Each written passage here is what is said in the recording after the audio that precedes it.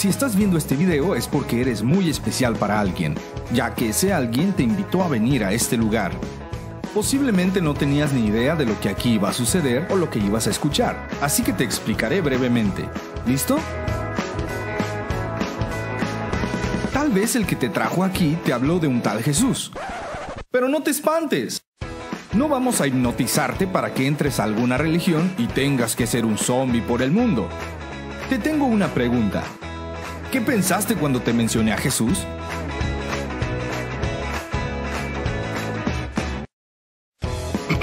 ok, ok. Pensar eso es muy normal, pues hoy en día la gente tiene un muy mal concepto de los seguidores de Jesús. Pero no es como lo piensas. Verás, este es Jesús. Y seguro has escuchado que Él es aburrido, que te prohíbe todo, que es para locos. Pero es todo lo contrario. Jesús dio su vida por amor a ti. Murió en una cruz para que fueras libre de todo pecado. ¿Pecado? Sí, eso malo que te aparta de Dios. Todos hemos pecado alguna vez. No te hagas.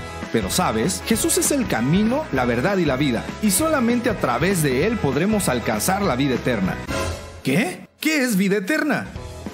La vida que está después de la muerte. ¿A poco creías que ahí se acabaría todo? Jesús es esperanza, es vida, es salvación, es oportunidades. Jesús es lo imposible posible y quiere estar cerca de ti. Él siempre está listo para ayudarte, sacarte del problema, sanarte de la enfermedad, restaurar a tu familia. Jesús quiere ayudarte para que pases los exámenes, que te vaya bien en matemáticas, conseguir nueva novia. Bueno, omitamos eso. No importa si has robado la feria de las tortillas, si eres enojón, si tienes muchos problemas, si sientes que no vales nada, Jesús te ama y te acepta tal como eres. Jesús no es religión, aunque ya lo has escuchado muchas veces. Jesús es una relación de mejores amigos, es lo máximo y está dispuesto a entrar a tu corazón, pero ¿te gustaría dejarlo entrar?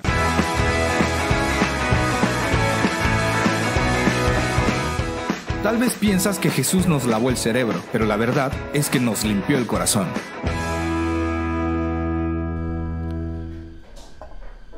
Bendiciones familia de Dios, que la paz de Cristo esté con cada uno de ustedes. Feliz y bendecido sábado. Esperamos que la gracia de Cristo esté alcanzando cada uno de sus hogares. En sus casas haya bendición, en sus bolsillos haya prosperidad y beneficios en cada uno de sus pasos.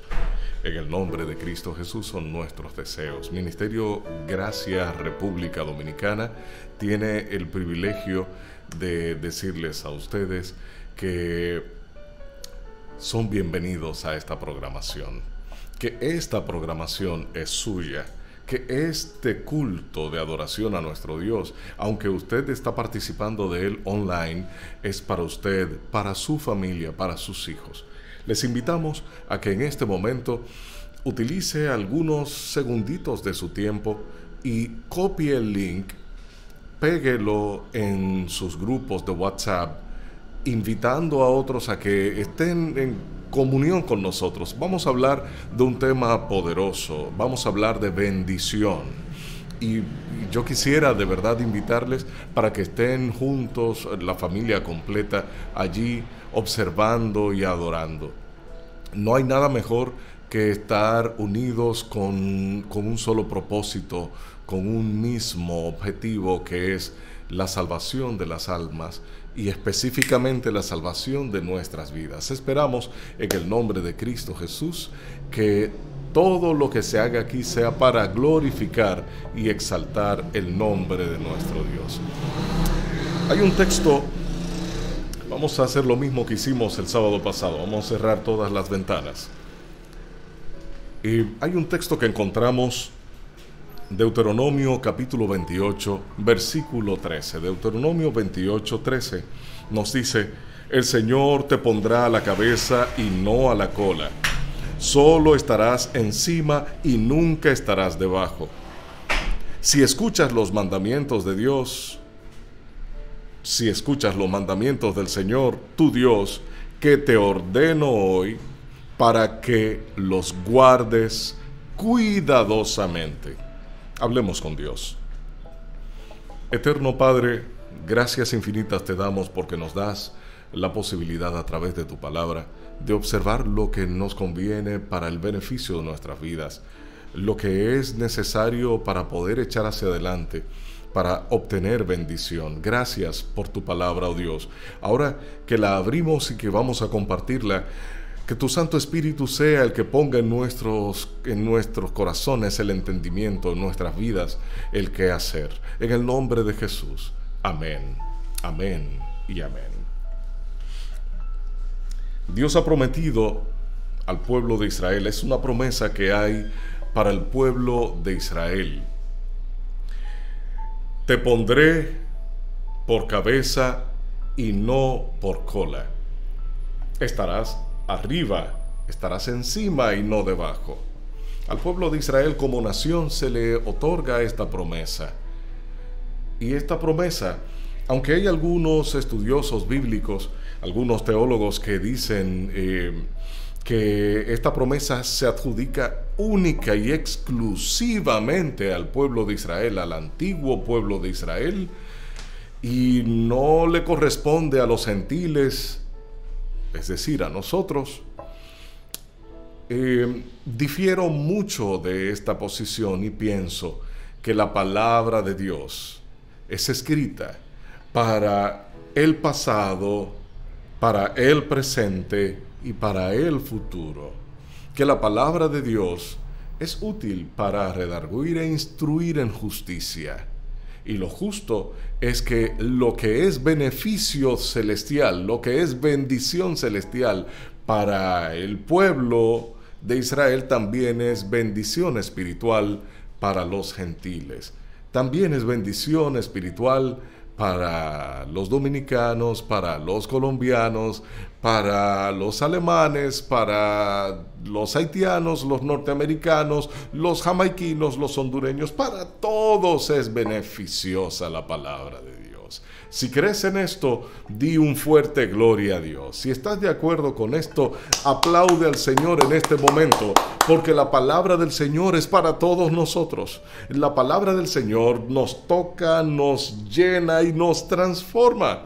Entonces sí tenemos al Señor en nuestros corazones a través de su sagrada palabra y esas promesas están allí escritas. Esa promesa es para ti y esa promesa es para mí. Serás cabeza y no cola, dice el Señor. El Señor mismo te lo promete. Vas a ser cabeza y no cola. Dices gloria, a Dios. Hay algunos que dicen que no podemos utilizar esto para darle ánimo a la gente para que la gente se contagie de este sentimiento de júbilo cuando sabemos que el mismo Señor nos prometió que seremos cabeza y no cola. Y entonces hay otros, entré en una página donde observaba algunas críticas de algunos estudiosos de la Biblia y teólogos que entran allí y uno le decía, discúlpeme señor fulano, pero yo creo que el artículo que usted escribe, que donde usted dice que esto solamente atañe a los israelitas, eso, eso eh, tiene confusión. hay mucha tela por donde cortar, distinguido. Eh, eh, yo creo que usted debería referirse mejor a que esas promesas son para todos. Yo coincido en gran parte con esto. Por ejemplo, eh, teológicamente hay referencias eh, a las promesas en tres puntos diferentes. Eh, promesas que se refieren a Jesús, promesas que se refieren al pueblo de Israel y promesas que se refieren a los gentiles y a toda, toda la humanidad. Yo creo que las promesas de Dios son para todos aunque teológicamente en las clases de teología, años cuando estaba en la escuela de teología, eh, veía que se dividía en estas tres opciones, también observaba que las promesas de Dios se refieren a todo aquel que aceptan estas promesas. ¿Aceptas tú la promesa de Dios para ti? Por ejemplo, el pueblo de Israel de antaño, el pueblo de Israel recibió estas promesas. El mismo Moisés les decía las promesas que Dios enviaba para ellos. Y el pueblo de Israel las escuchaba, presenciaba los milagros de Dios, los veía, veía a Dios moverse alrededor de ellos, cubrirlos en el día, calentarlos durante la noche. Y veía a Jesús, a Dios el Padre y a Dios el Espíritu Santo en presencia, actuando constantemente alrededor de ellos. Pero palabras de los mismos labios de Dios, las recibió, las recibió el pueblo de Israel, las recibían a diario y no le prestaban atención. Ahora te pregunto nuevamente, ¿aceptas tú esta promesa para ti? Joven que estás escuchando, dama que nos estás oyendo, caballero que estás allí presenciándolo, ¿aceptas tú esta promesa de ser cabeza y no cola? ¿De estar encima y no debajo? ¿De ir delante prosperando en todos los sentidos de tu vida? ¿La aceptas? Y yo voy a hacerte otra pregunta más. ¿Cuántos quieren bendición? Aplaude al Señor si quieres bendición. ¿Cuántos quieren bendición? Levanta tu mano, levanta tus dos manos allí donde estás y di, yo quiero bendición. ¿Tú quieres bendición? Si quieres bendición, acepta la palabra de Dios, la promesa que te ha dado. El Señor te ha dado promesas poderosas. Leemos el texto nuevamente.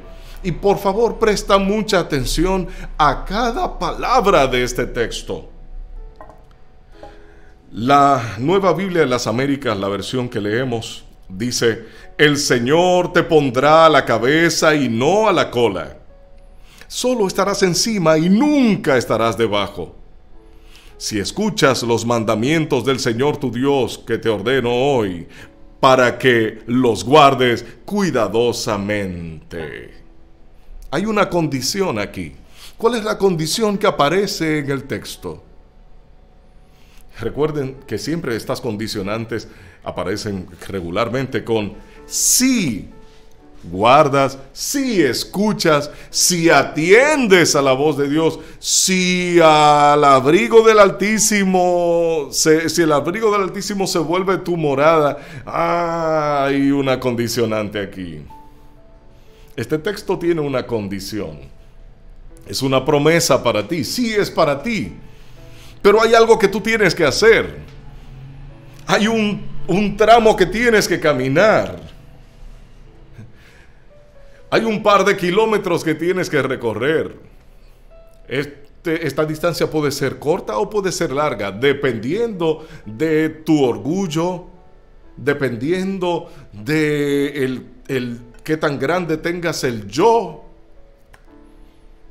Esto puede ser pequeño, la distancia puede ser corta. Bueno, vamos a leer la condicionante nuevamente. Vamos todos al texto, la segunda parte del versículo 13, el capítulo 28, estamos Deuteronomio 28, 13. Deuteronomio 28, 13, la parte B del texto nos dice, si escuchas los mandamientos del Señor, tu Dios que te ha dicho, te ha ordenado el día de hoy. La palabra le estamos leyendo hoy esa promesa es para ti hoy, la ordenanza es para ti hoy. Que el Señor tu Dios te ordenó hoy para que los guardes cuidadosamente. ¿Y qué es lo que vamos a guardar? ¿Qué es lo que vamos a guardar? Dice el texto, si escuchas los mandamientos de Dios, no los mandatos de los hombres, no los estatutos que algunos hombres se han juntado en una oficina cómoda y han decidido, ah, vamos a hacer esto, que no hagan aquello, que no hagan lo otro, que no brinquen, que no salten, que no den la vuelta, que no bailen, que no se pongan esto, que no se pongan aquello. No esas ordenanzas. Esas son palabras de hombres, pero esta ordenanza nos la da Dios para nuestro beneficio, para tu beneficio, para mi beneficio. Y vamos a obtener beneficios, bendición vamos a obtener si guardamos los mandamientos. Escuchaba en una discusión a dos teólogos que uno le decía al otro, es que hablando sobre este mismo texto, es que tú no puedes decir eh, que esa ordenanza es para, es para el pueblo de Dios el día de hoy. Porque si dices eso, entonces tenemos que seguir al pie de la letra. Escuchen bien esto quien escribe el artículo diciendo que es exclusiva y únicamente, el texto se refiere exclusiva y únicamente al pueblo de Israel de antaño, Este que escribe el artículo está discutiendo el por qué él, defiende esto. Y dice que él lo defiende porque si aceptas que esto se refiere no solo al pueblo de Israel de antaño, sino al pueblo de Israel de hoy, a todas las naciones, a los gentiles, a los cristianos, a los evangélicos, a los pentecostales, a los adventistas y a todo aquel que cree en la palabra de Dios, no importa que sea católico, protestante o no protestante o lo que sea que, que practique, si estas ordenanzas de Dios son para todos. Entonces dice el mismo que escribió el artículo que tenemos que seguir al pie de la letra los mandamientos. ¿Cuáles son los mandamientos?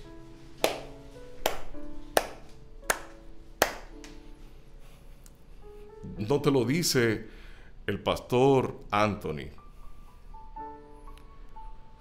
No te lo dice un, líder. No, no, no. Te lo dice el Dios Todopoderoso, el que lo creó. Y fíjate lo que dice el texto y vamos a resaltarlo de manera especial. Si escuchas los mandamientos del Señor tu Dios, que te ordenó hoy para que los guardes cuidadosamente al pie de la letra, aquello que el caballero que escribió el artículo estaba rehuyendo, estaba tratando de evitar con sus palabras filosóficas y rebuscadas, aquello que él estaba tratando de dejar de lado es lo que la Biblia recalca y dice clara y categóricamente, cuidadosamente debemos guardarlos. Los mandatos de Dios al pie de la letra. ¿Por qué les menciono esta parte?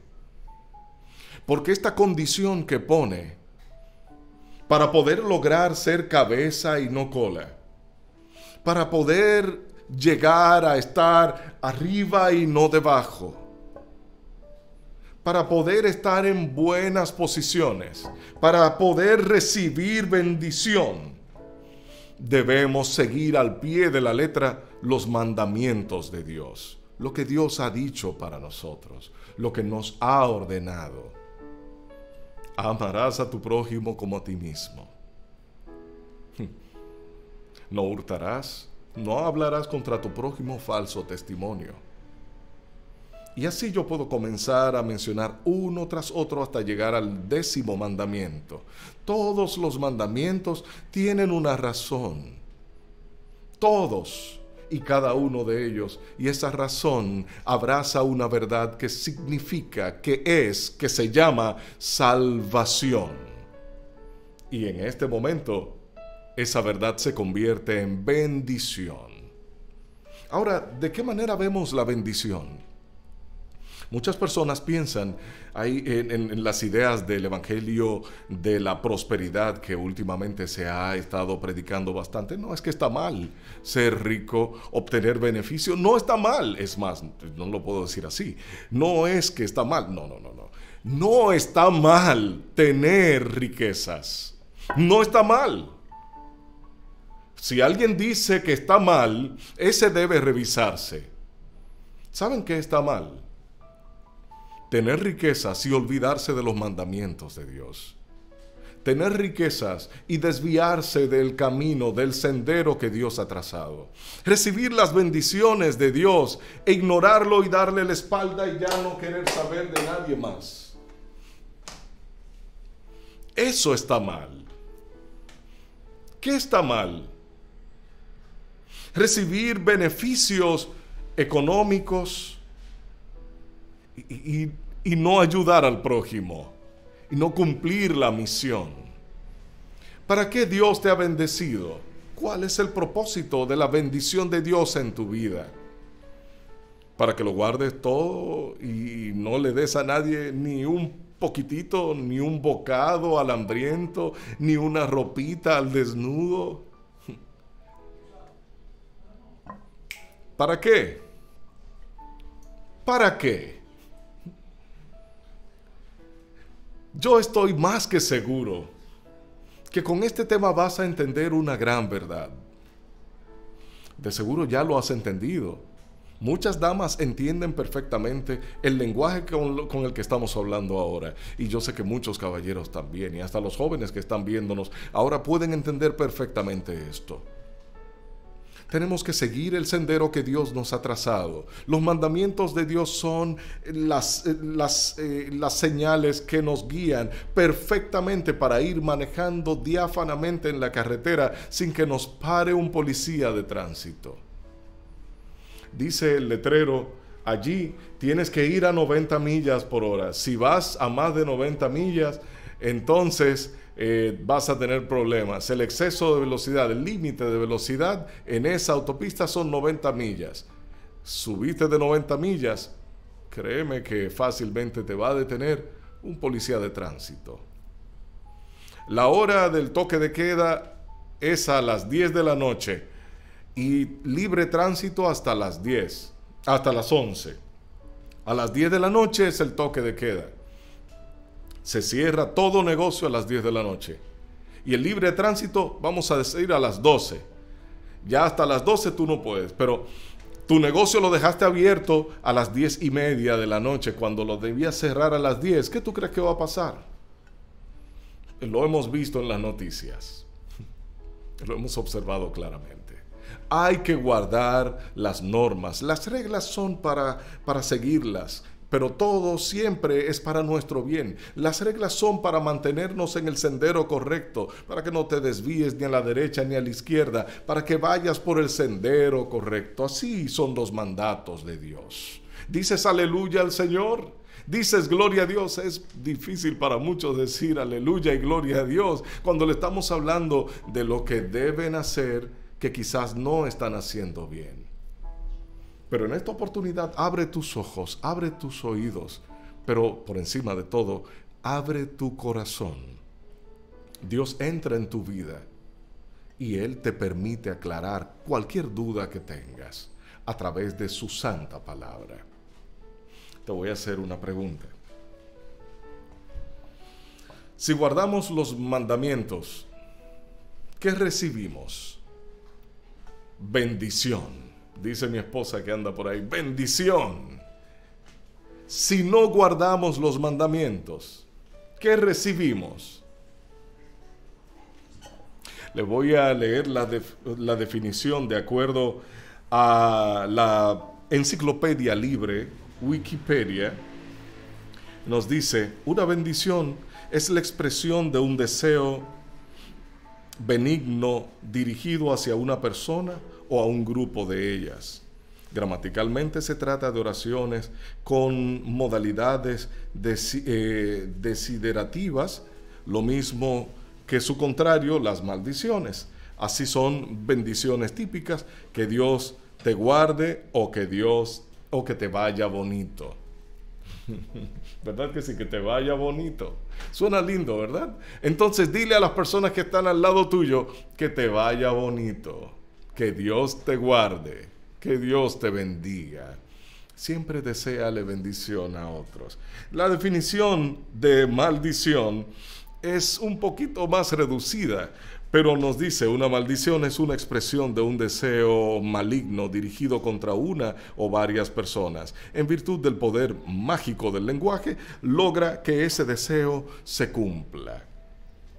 ¿Cuántos de ustedes han escuchado esto, a mi familia le echaron una maldición, porque nosotros no hemos dado un solo palo exitoso. En República Dominicana es un país beisbolero, les gusta el, y siempre cuando hablamos de un palo, le dio un palo, no, no, eso... Eh, eh, a veces estamos hablando, mis hijos y yo, óyeme, ese juego es un palo, ese juego está bueno. Pensamos exactamente en eso, en el palo, el batazo del hit, del home run, exactamente eso. Yo no sé si entiendes perfectamente lo que este mensaje a través del Espíritu Santo quiere decirnos tenemos que transformar nuestras vidas para que nuestra familia también reciba la bendición de la transformación hacia el éxito, hacia la prosperidad. No solo prosperidad económica, sino también prosperidad espiritual. Para muchos bendición es, es conseguir mucho dinero.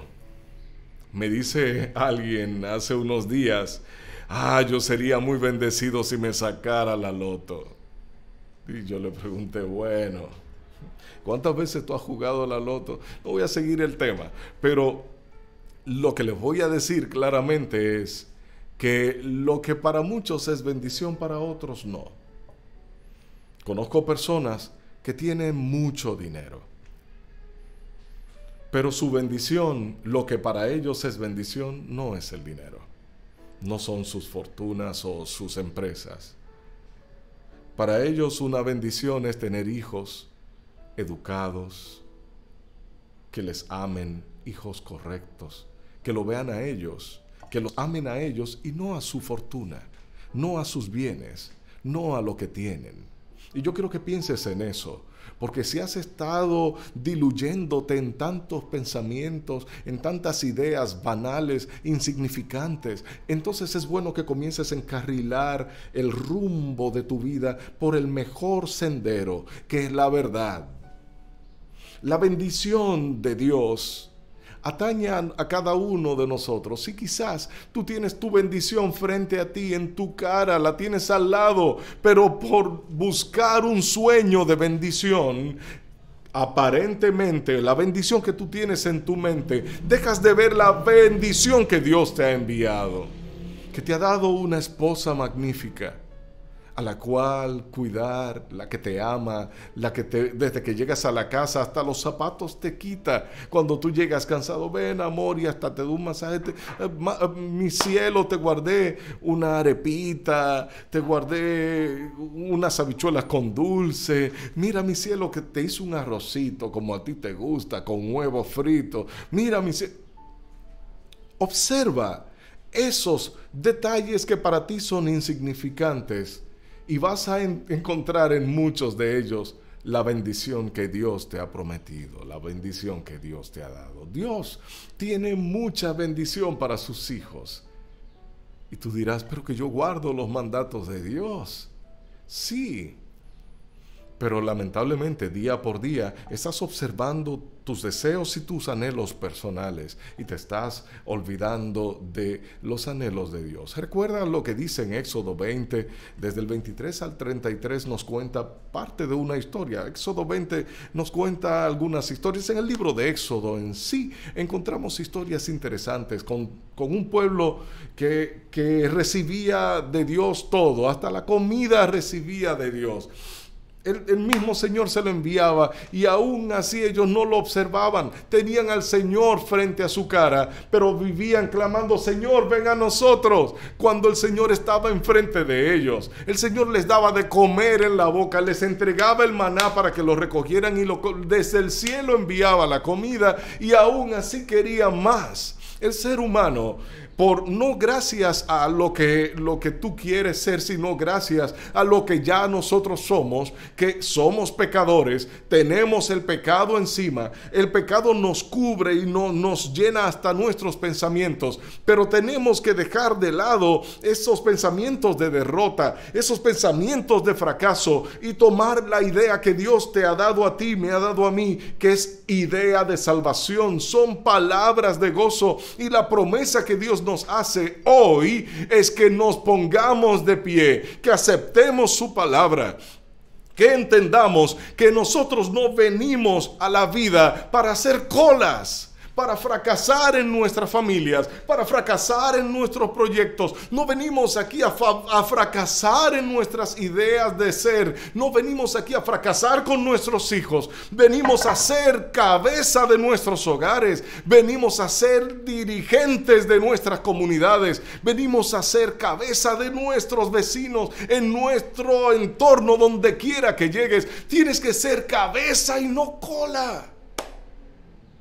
Es tiempo de que despiertes de ese sueño que el diablo pone en tu mente. Ese sueño falso de que no alcanzas nada. Ay, vives llorando todo el tiempo. No logro, no lo logro.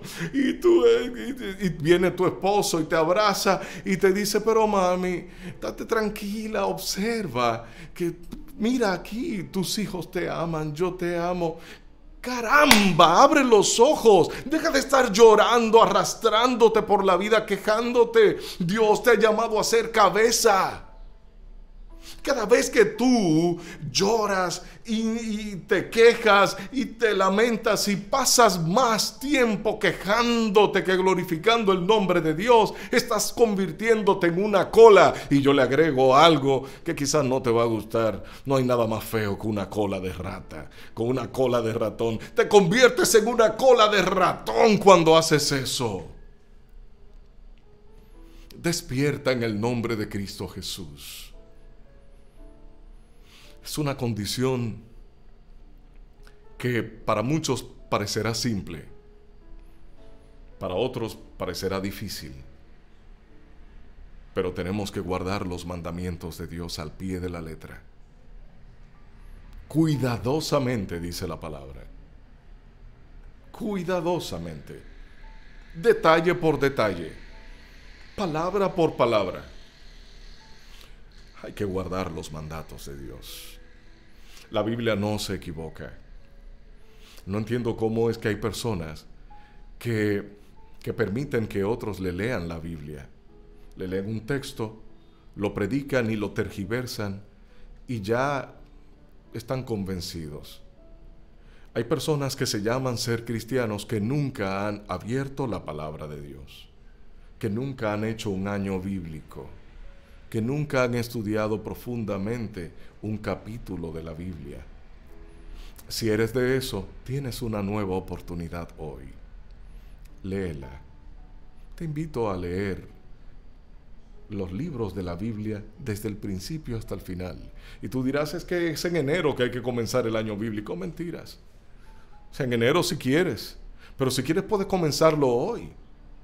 Y al finalizar la etapa desde hoy hasta cuando termines la Biblia completa, lee un capítulo por día un capítulo por día. Todos los días, reúnete con tu familia en oración, unidos, oren, pidan la presencia del Espíritu Santo para que les muestre exactamente la verdad sobre la palabra bíblica y lee un capítulo por día.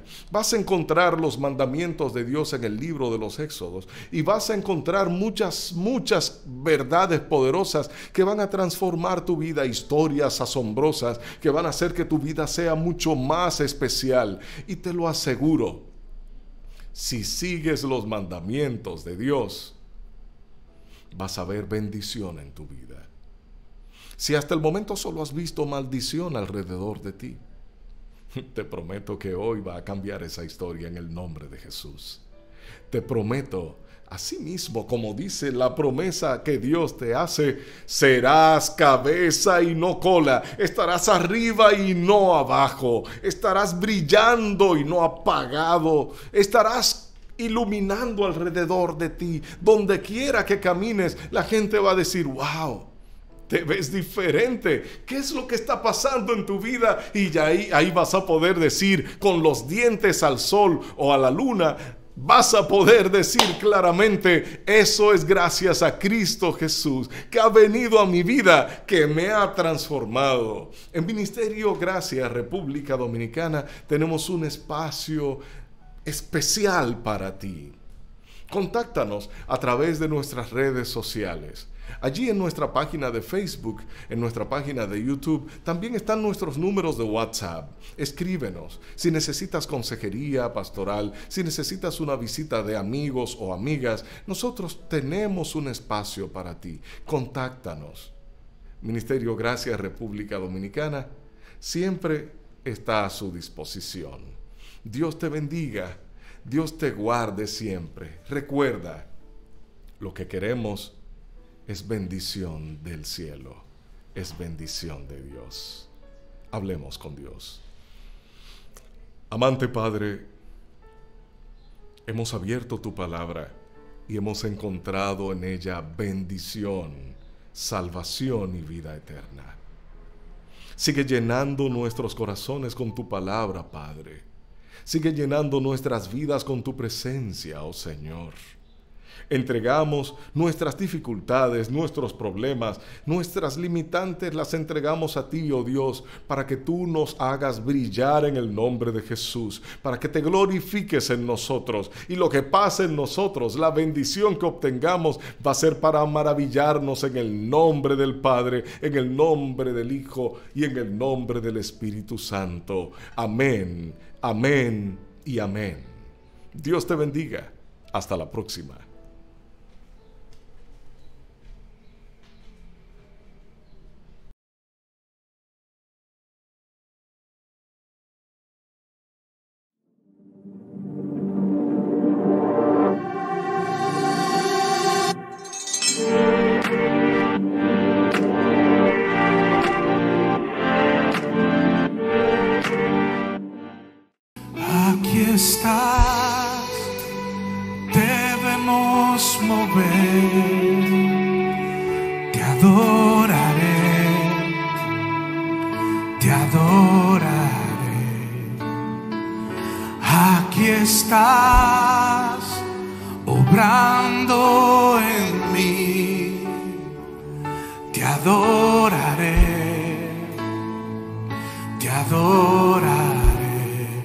aquí estás, aquí estás, te vemos mover, te adoraré, te adoraré, aquí estás, obrando en mí, te adoraré, te adoraré milagroso. ¿Cómo dice iglesia? Milagroso, abres camino, cumples promesas, luz en tinieblas, mi Dios así eres. Milagroso, milagroso, abres camino, cumples promesas, luz en tinieblas, mi Dios, así eres.